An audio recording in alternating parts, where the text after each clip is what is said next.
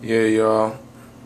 This is a rec piece. You know, it's your boy back. Just giving you a little preview of what I'm working on. It's like the second to last page of my black book. Uh, the next one I'll do probably will be even sicker than this. Then I'm gonna go ahead and go buy my new black book this week.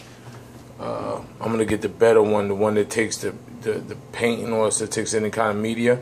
I'm gonna get that shit. See how it work out. This is a like 20 year old black book anyway, but I finally finished that shit because uh, I draw it hard every day. Anyway, um, working on this joint. Uh, it's coming out pretty good.